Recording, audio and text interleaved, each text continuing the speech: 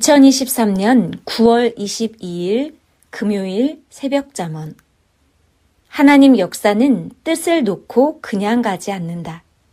지금 못하면 후대에 가서도 한다.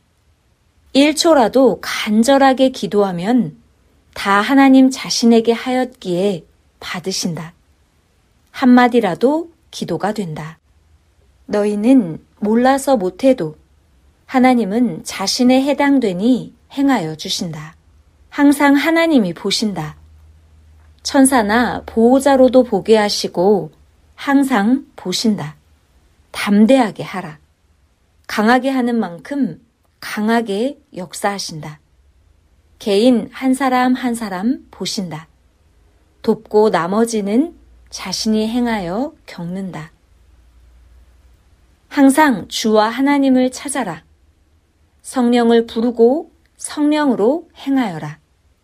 하나님이 나의 극한 환난과 고통 중에 말씀하시기를 세상에서 내가 너를 제일 잘 안다 하셨다.